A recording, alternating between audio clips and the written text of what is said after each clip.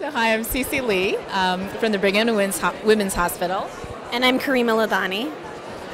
And we're representing the Projahnmo Research Group from Bangladesh.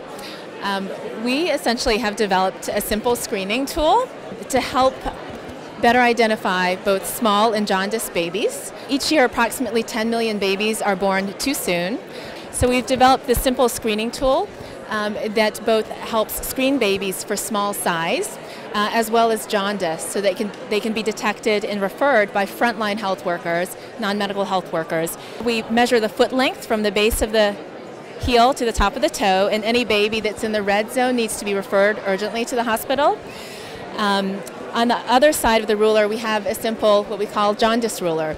So we blanch the skin of the nose and we look for the closest color, yellow matching tone, and that corresponds to a serum bilirubin level. If it's a high number or high level, then that baby also needs to be referred.